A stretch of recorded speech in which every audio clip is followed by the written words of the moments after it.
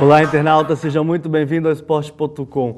Hoje vamos conversar sobre a final do Campeonato Mineiro e o jogo do Cruzeiro na próxima quarta-feira pela Copa do Brasil. Comigo aqui no estúdio, Gabriela Pedroso, repórter Super FC. Tudo bem, Gabi?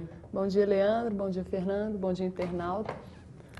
Também aqui comigo, Fernando Almeida, também repórter Super FC. Tudo bem, Fernando? Bom, bom dia, Cabido. Bom dia, Gabi. Bom dia, internauta. Vamos falar um pouco aí do, da final do Mineiro, tanto de Atlético quanto de Cruzeiro, e um pouquinho da partida de, de quarta-feira. Antes da gente começar a falar da final, ontem, de 1 a 1 entre América e Atlético, a gente vai falar um pouco do Cruzeiro. O Cruzeiro foi derrotado no meio de semana por 1 a 0 para o Atlético Paranaense. Eu gostaria de saber de vocês, principalmente de Gabriela, o que, que você acha que pode acontecer na quarta-feira contra o Atlético Paranaense? É, eu acho que se o Cruzeiro tiver a postura que teve no primeiro tempo contra o Atlético Paranaense no primeiro jogo, é, já está já tá com a chance clara de, de, de sair da competição já nessa quarta-feira. O time jogou muito, foi muito apático no primeiro tempo né, daquele jogo, é, sem vontade de jogar, parecia que não estava ali disputando nada, um jogo normal, sem nenhuma motivação. E no segundo tempo acordou para a partida e acabou criando algumas chances, né, mas não, não concluiu em gol. Então, acredito assim, que se não entrar ligado, né, o Mancini até falou, né, da, dos 200 volts, né, uhum. se não entrar ligado nessa partida, vai ser difícil. É, Fernando, é, o Cruzeiro está com um problema muito sério na lateral direita com o Diego Renan. Os dois últimos gols que o time sofreu foram em cima dele, né? Ele tomou o drible pro Guerrón, ficou 1x0 a partida contra o Atlético Paranaense, ele tomou Isso. aquele drible pro Guerrón quase no meio do campo, o Guerrón foi desembestado para o fundo da área e cruzou com a chegada do atacante do Atlético Paranaense. É, o que, que você acha que o Wagner Mancini tem que fazer com o Diego Renan?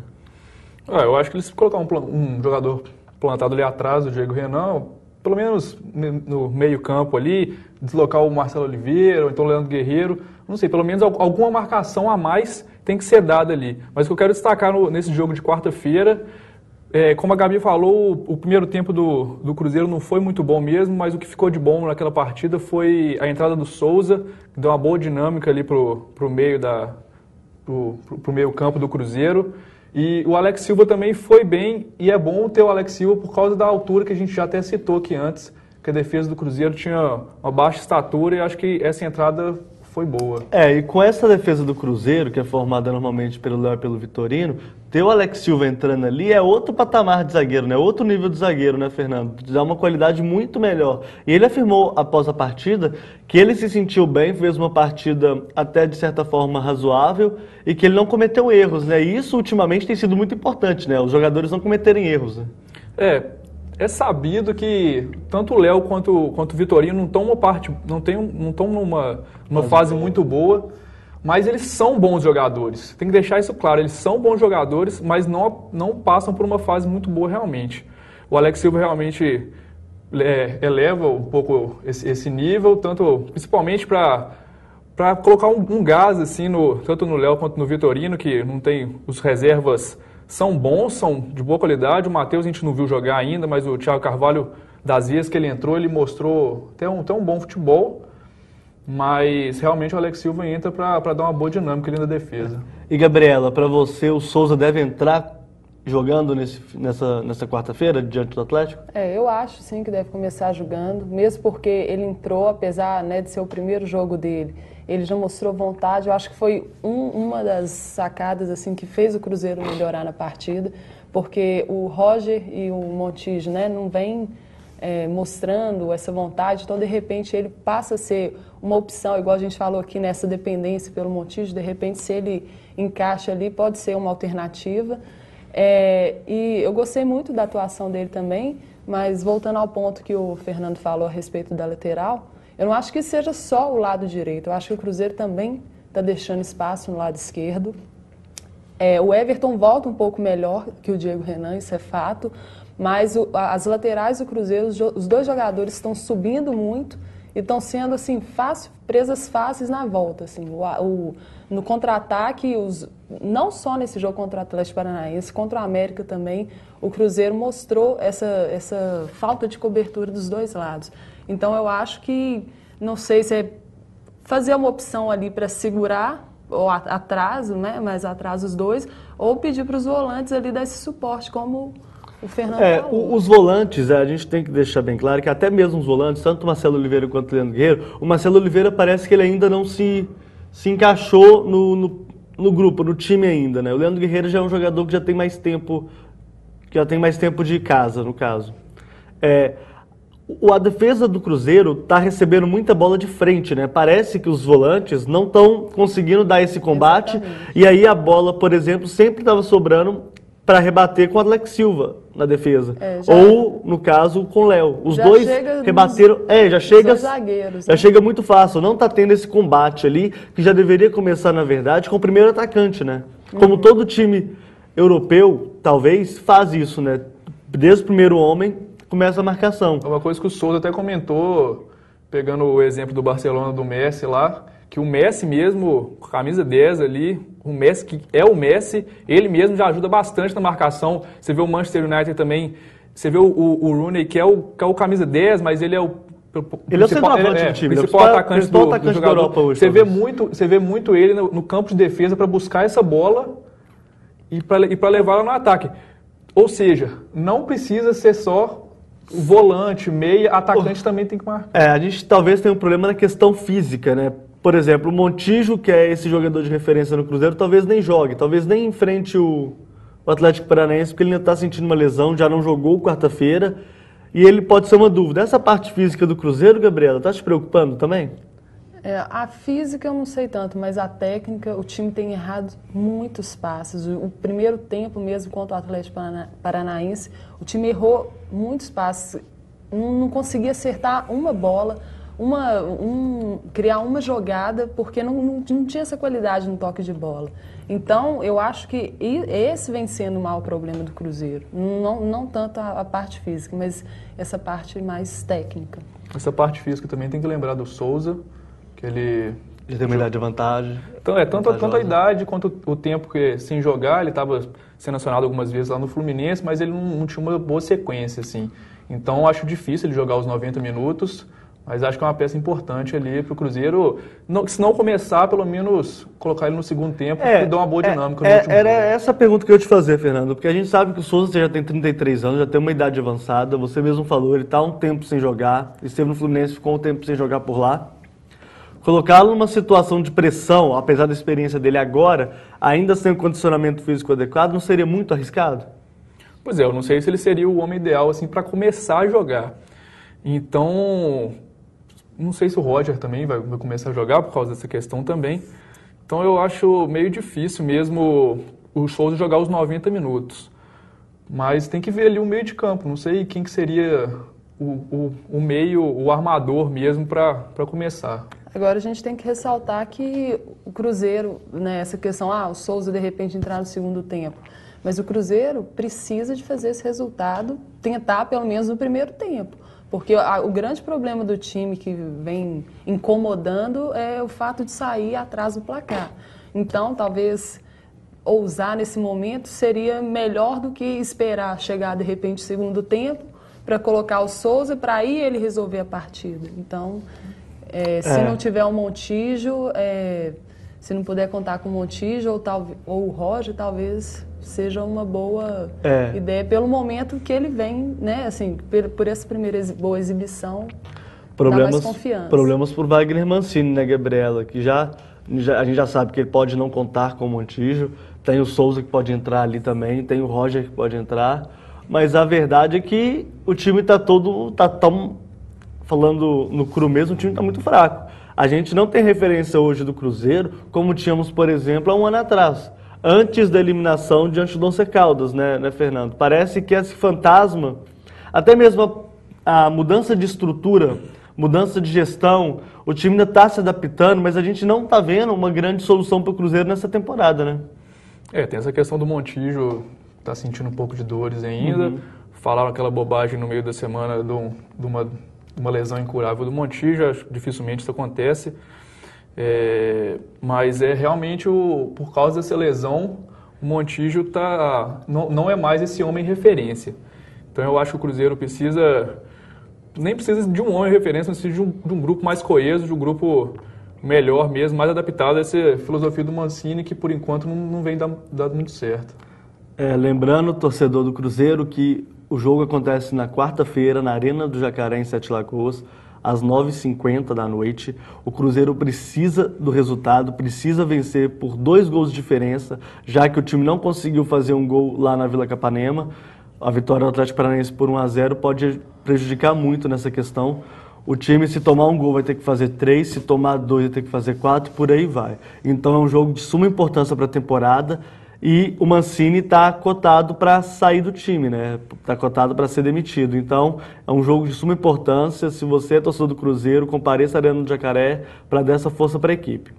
É, vamos. Do lado, só para fechar essa parte do Cruzeiro, do, do, duelo, assim, do lado do Atlético Paranaense, é, eles não vão contar com o Paulo Baier.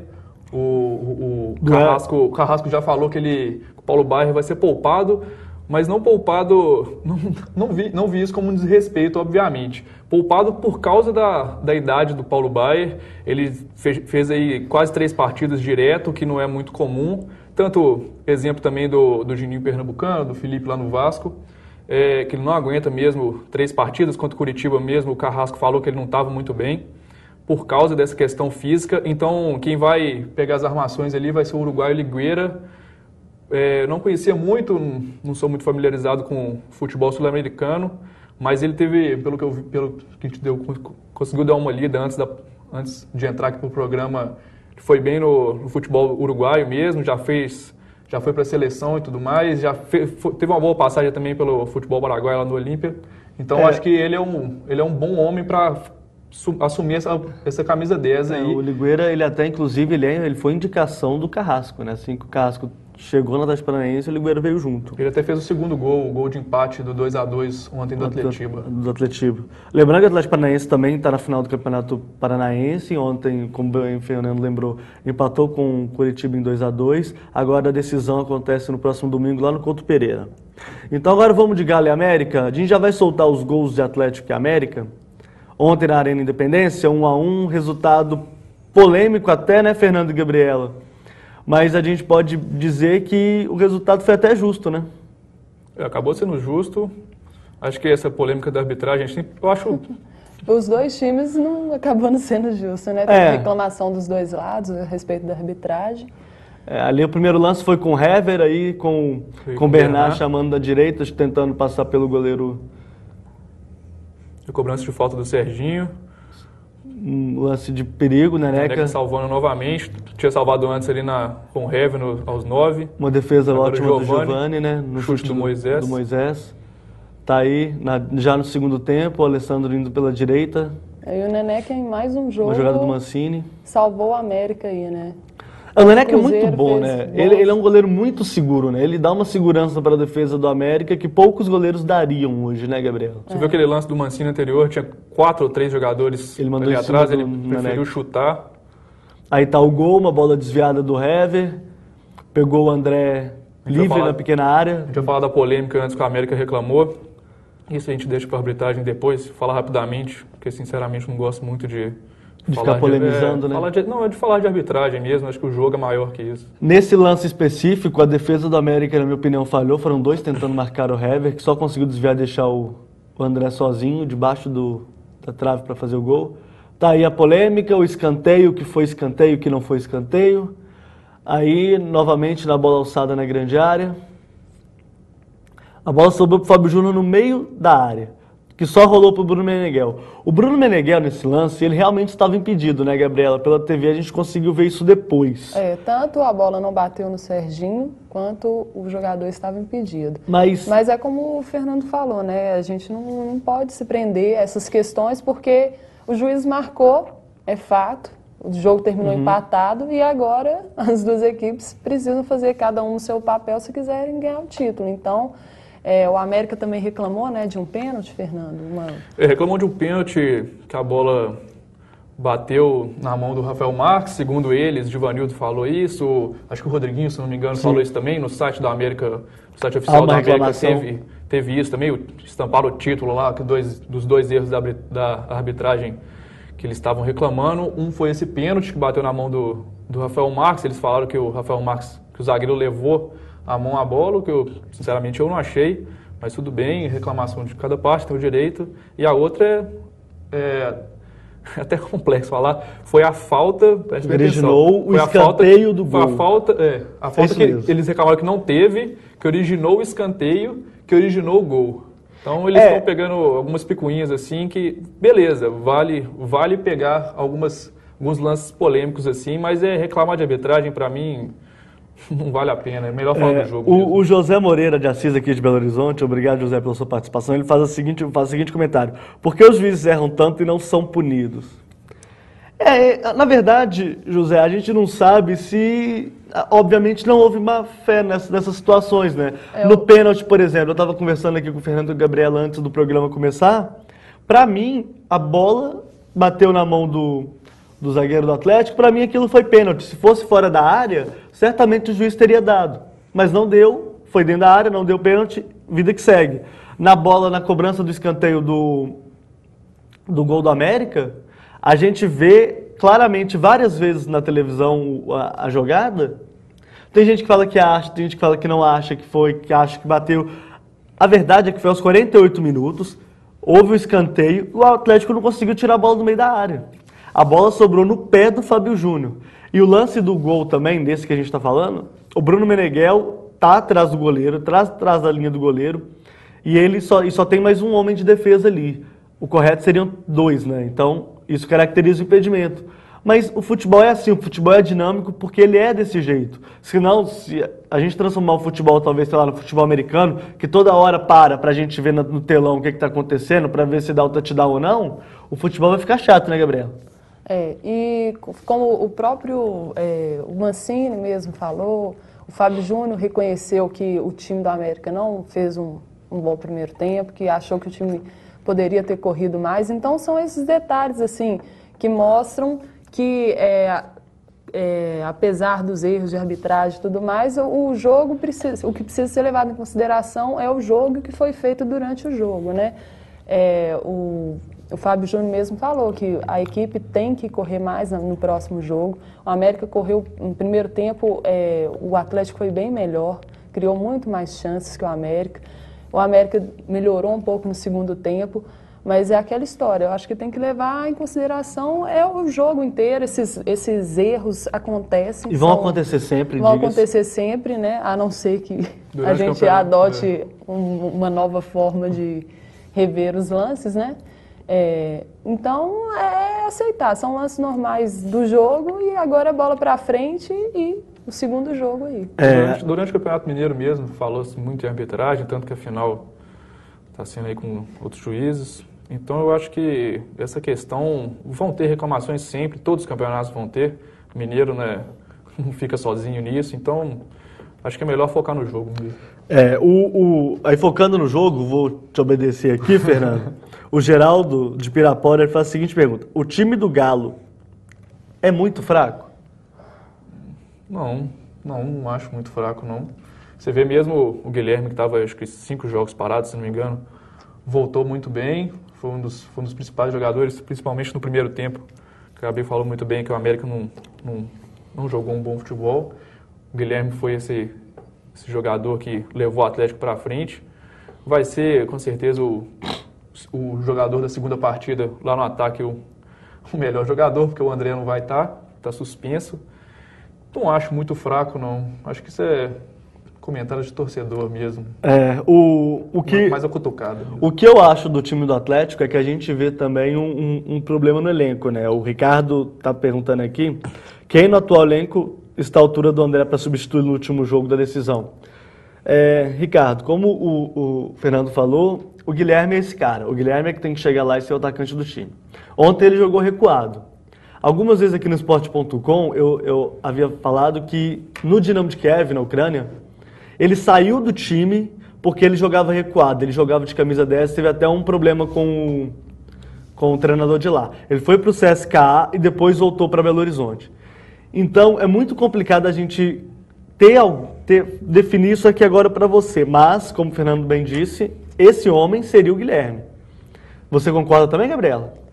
É, na realidade o Atlético está com poucas opções, né, para esse segundo jogo, assim. Tem o Leleu, né, o Paulo Henrique. O Henrique, o próprio Henrique, que subiu é. semana, semana passada da base. Então vai ter Neto que... Berola não sabe se vai jogar por causa de lesão. Esses últimos jogadores que vinham atuando na posição, o Cuca ainda não sabe. Aí você vai contar com o Berola, né, que se machucou. É, o Berola, na verdade, ele joga 20 minutos e para, né? É, mas seria uma opção, né? Então agora vai ter que ver aí se ou se coloca mais um meia avançado, ou se joga com o Guilherme sozinho na frente, que eu acho meio complicado. É, o Guilherme não é aquele, aquele jogador é de área igual o André. Né? Pois é, mas aí, ou se aposta num, num desses meninos aí da base para formar uma dupla ali com ele na é, frente. É, eu, eu, eu às vezes discordo um pouco do Fernando quando ele fala que o Guilherme jogou muito bem. O Guilherme, para mim, ele é centroavante. Se ele não faz gol, ele não jogou bem.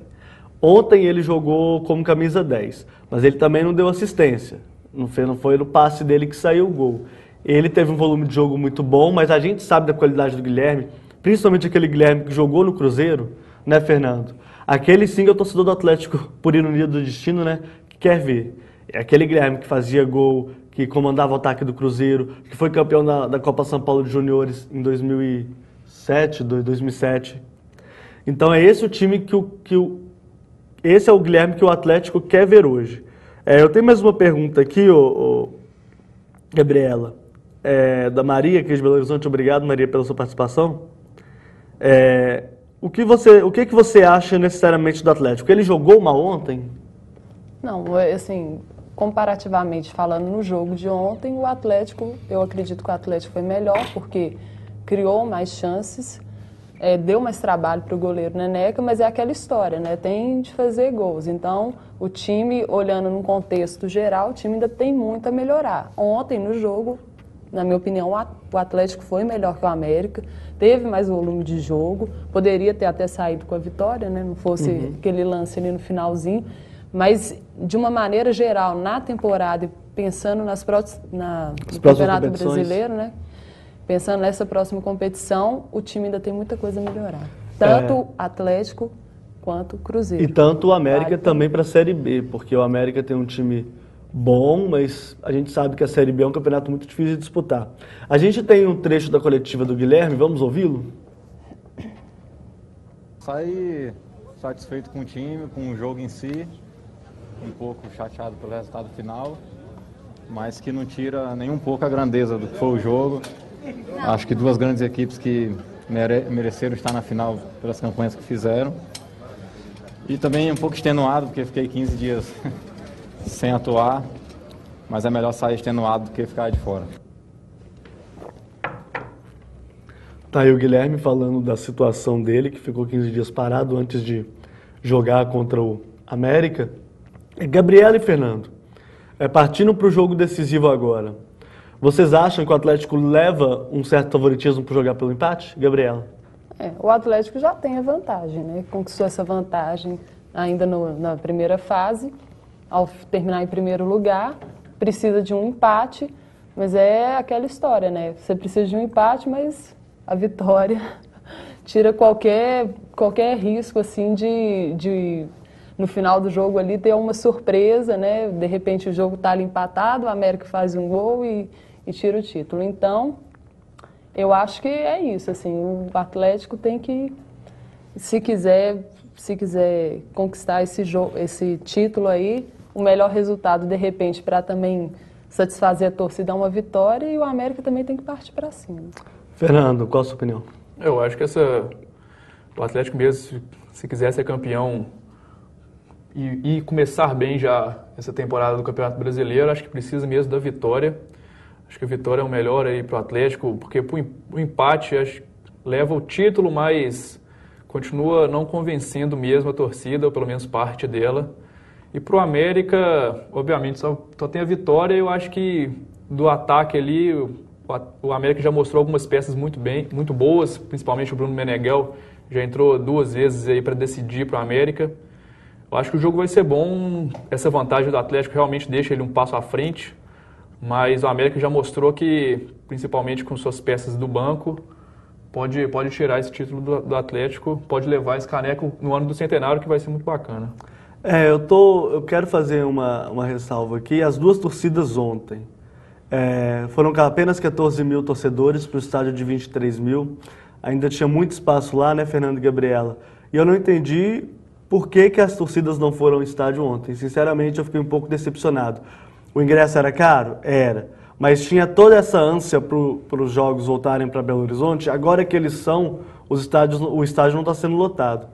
Então eu gostaria de fazer um apelo aqui para as duas torcidas, que lotem a Independência no fim de semana, façam um belo espetáculo lá, se divirtam, o campeão comemore, o vice-campeão aplauda, porque o futebol é assim, a gente custa para ter um estádio de certo nível aqui em Belo Horizonte e quando tem, a torcida não vai, né? Bom, gostaria de agradecer aqui a participação da Gabriela Pedroso. Muito obrigado, Gabi, pela sua participação.